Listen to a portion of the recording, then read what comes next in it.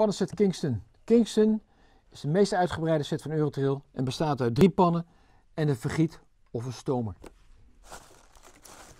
De grepen van de pannen en de stomer zijn voorzien van siliconen, zodat je hem altijd goed kunt beetpakken, ook tijdens het koken.